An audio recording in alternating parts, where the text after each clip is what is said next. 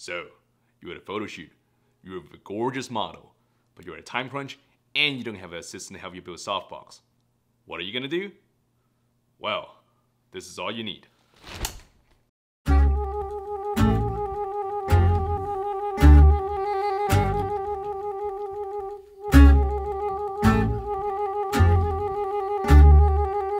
Hey guys, thank you for tuning in for another episode of arcDéco Cine Lab. This is your host Rex. Today episode we're going to be talking about a pretty convenient product that will help you to get your budget photo shoot done quite a bit faster.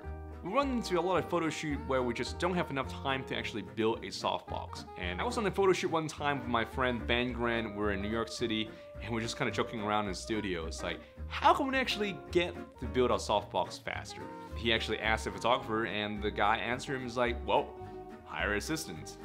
Um, that's actually is quite true, but a lot of times we just don't have the luxury to get assistance or just have time to build a softbox when we get to a photo shoot. So this product here is, is fairly cool. It's, um, this particular version is made by ePhoto, like a previous review of uh, Giant Umbrella. I'm sure you'll see different brand out there on Amazon. If you're looking, uh, LimoStudio also make one that is fairly similar. This particular version is a 24 by 36 inches.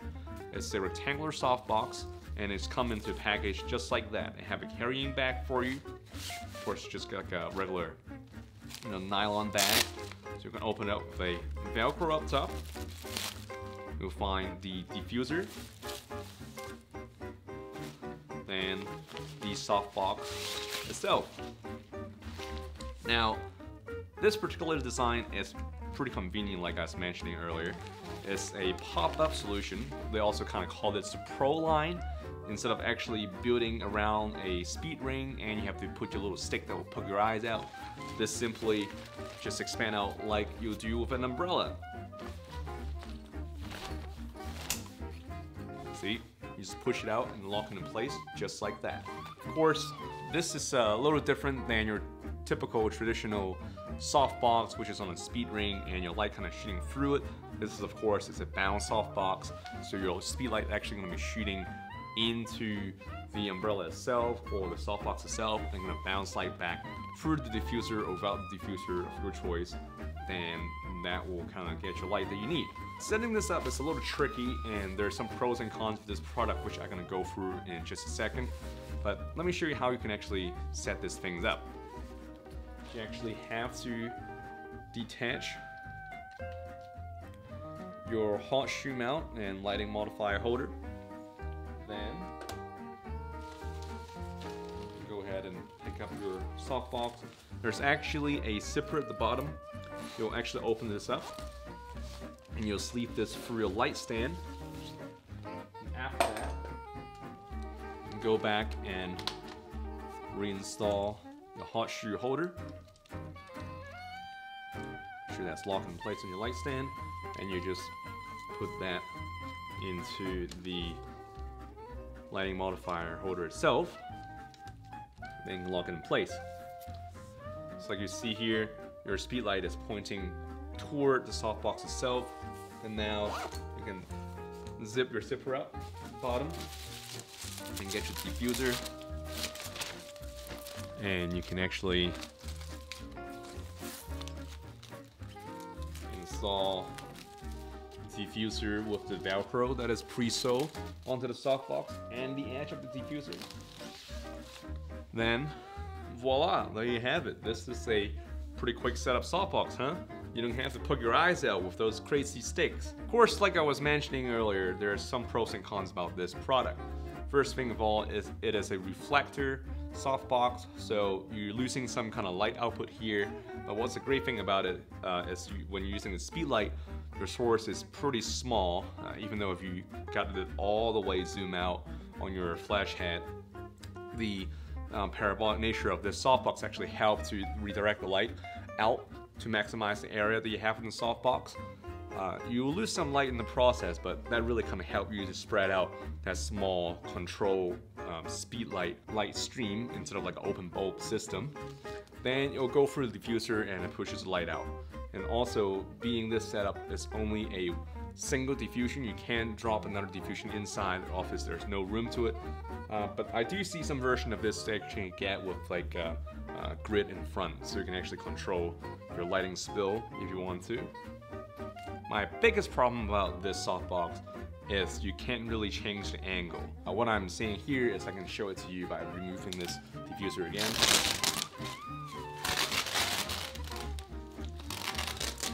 So right now we kind of have it set up just horizontal.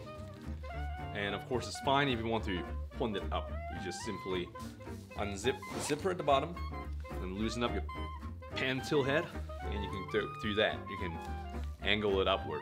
But most of the time, what we really want to do about softbox is to shoot it down. But because of the way how this is designed, your light stand can protrude out from the seam of your diffuser. So what the problem is, you can only go so far. So you can't really bend it down uh, with softbox. The only way you can do that is by relocating an umbrella or the uh, location of a speed light to be you know further into the softbox itself. And that way of course you can control your tilt to have it tilt down slightly. But of course by doing that you're actually limiting how far your speed light is away from the base of a softbox so all of a sudden you don't really get that nice spread that you're trying to do with this setup here. So most of the time I would like to set it as far back as I can which means we really have to loosen this up a little bit. So this is kind of like you know, really the furthest I would like to set this up. And even when you're using this, you might want to drop your diffuser and your flash head if you have one, just to get that extra push on the area that you need to get this light filled up. But that really is my, my biggest, biggest concern about the design of this softbox here. Other than that, I think you're trading it off for expediency, which is fantastic on a shoot, uh, and a very compact system, as a matter of fact. It's, it's really light. It's only four spoke in the umbrella. All you have to do to pack this up is just pushing one button and it will retract it you know, back into the umbrella formation.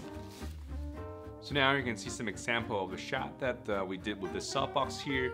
This is pretty much uh, shot on the 5D Mark II and the light source that we are using is a Yongnuo 560YN. This is the Mark III version. That's pretty much just kind of set up uh, the widest zoom setting they have, which is 24 and it's pretty much shooting parallel to the subject. It's not angled down or anything. Most of the backgrounds are really just lit by the natural sunset that we have on the lake, uh, right, right by the waterfront there that we were shooting that day. Uh, it was really cold, about 40 degree. My friend Corey is modeling for this shoot, and you can see here the lights are fairly soft coming off from the softbox. There's no harsh shadows or anything coming out of it. It's a really, really nice reflective source. I mean, the reflections of how the light's being captured within the parabolic softbox itself, it's already kind of diffused, and of course with the diffuser in front of it, it really just kind of wraps your subjects around. So you don't have a lot of harsh shadow, which is what we're really trying to achieve with the softbox here. So for a setup like this, I think I purchased this around um, $35 on Amazon, which is a fantastic deal. And most of the time, if you really want to buy a softbox, you'll be spending about um, $200 or 350 for a Westcott. And this guy on Amazon, I think when I purchased it, it was about $35. I think it's a great option. It's an absolutely affordable product to have. Uh, it's just going to add on to your inventory, your little, little army of light modifier in your bag. And it's, it's really streamlined. You just put in that bag to come with it and you're ready to go. I packed this guy with two light stand uh, and my giant umbrella and also two small umbrella just in like a thin, long rectilinear uh, light stand bag and it's just on my shoulder, my camera bag, just two bag and you can do a lot of creative stuff with it. So it's definitely great to add on to your arsenal. Of course, you can get different sizes. You can even get a rectangular one uh, whatever options they have out there, you know, just check them out. This is, I think, I think it is the biggest version, the 2436. If they have anything bigger, I will, I will hope that you can actually, you know, tilt this thing down a little bit just to get that better lighting angle when using a softbox. But other than that, it's a great item to have in your um, shooting bag. So that's about it, folks. Thank you very much for watching another episode of arcDéco Cinelab. This is your host, Rex. And again, if you like this video, please do subscribe. It's the best way to show your support to my channel.